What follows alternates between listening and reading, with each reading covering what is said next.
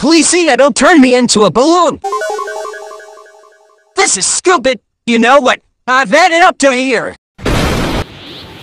Wait what? You're not supposed to fight back. I'm done with being your little pest subject, Sega.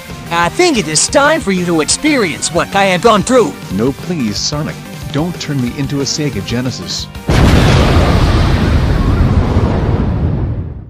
This is a nightmare.